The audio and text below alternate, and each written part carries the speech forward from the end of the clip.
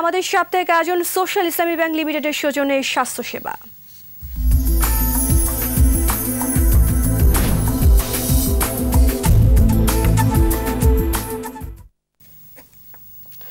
Corona সংক্রমণের এই সময়ে দম্পতিদের সন্তান না গ্রহণের পরামর্শ দিয়েছেন চিকিৎসকরা।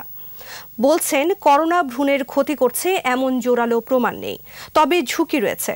করোনায় শারীরিক জটিলতা আছে, এমন মৃত্যু ঝুঁকিতে বেশি থাকছে বলেই এ সময় গর্ভধারণ না করাই মঙ্গল বলছেন তারা। আফসানা নীলার রিপোর্ট। করোনায় গর্ভবতী মা কিংবা ভ্রূণের ওপর ভাইরাসের কোনো প্রভাব পড়বে কিনা এমন প্রশ্নে বিশেষজ্ঞদের মত প্রভাব যাই হোক, এ সময় গর্ভধারণ না করাই ভালো। বিশ্বব্যাপী চলা লকডাউনে বাড়ছে অনিচ্ছাকৃত গর্ভধারণ। জাতিসংঘের জনসংখ্যা তহবিল, ইউএনএফপিএ এবং এর সহযোগী সংস্থাগুলোর এক সমীক্ষা এমন তথ্য প্রকাশ করেছে। উদ্বেগ জানিয়ে বলেছে, ঝুঁকির মুখে পড়তে যাচ্ছে ভবিষ্যৎ।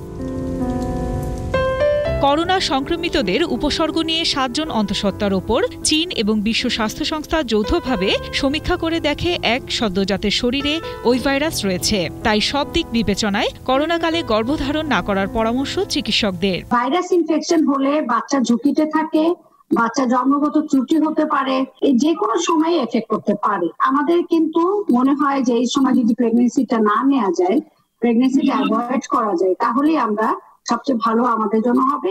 তারা বলছেন প্রথম ও দ্বিতীয় ট্রাইমেস্টারে প্রসূতি করোনায় আক্রান্ত হলে ভ্রূণে প্রভাব পড়বে কিনা তা অনেকটাই অজানা। তাই এখন গর্ভধারণ না করাই ভালো। তবে যারা অন্তঃসত্ত্বা তাদের সংক্রমণ এড়াতে দেয়া হচ্ছে পরামর্শ।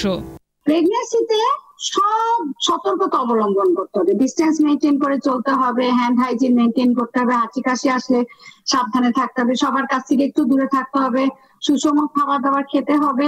একই সাথে অন্তঃসত্ত্বাদের বাড়িতে থাকা, সামাজিক দূরত্ব বজায় রাখা সহ ব্যবহার্য জিনিস আলাদা করে রাখা এবং জ্বর সর্দি কাশি হলে দ্রুত পরামর্শ নেওয়ার তাগিদ চিকিৎসকদের। আফসানা নীলা, একুশে টেলিভিশন, ঢাকা।